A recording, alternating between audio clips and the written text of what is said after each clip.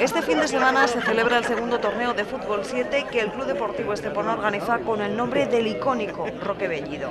Participarán equipos de diferentes categorías, Alevín, Prebenjamín y Benjamín, de equipos como la Unión Deportiva San Pedro, Marbella Paraíso o Malaca, además de los dos equipos del club en cada una de esas categorías. Le quiero agradecer a todos los equipos, estos participantes, el que venga.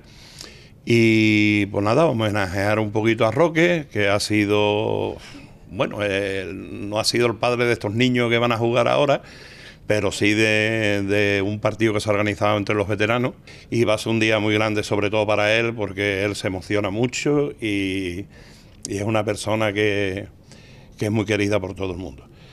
El torneo de veteranos es la novedad de esta segunda edición. Alrededor de 50 futbolistas cargados de ilusión se darán cita en este encuentro que está programado para la una y media de la tarde. Va a ser una forma de, agradecer a Roque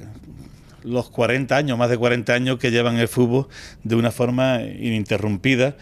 y, y bueno, y ayudándonos siempre y cuidándonos, porque yo recuerdo a Roque de ya ser juvenil, que ya hace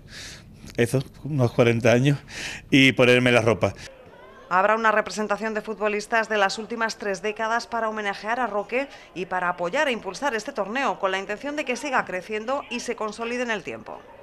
En cuanto que Alfonso se puso en contacto conmigo y me dijo la idea que era, los veteranos del Estepona predispuestos en todo caso y, contamos con casi medio centenar de, futbolistas que se quieren vestir de corto, aparte de los que van a ir a acompañar a Roque, que sin duda se lo merece por toda la trayectoria que tiene en Estepona.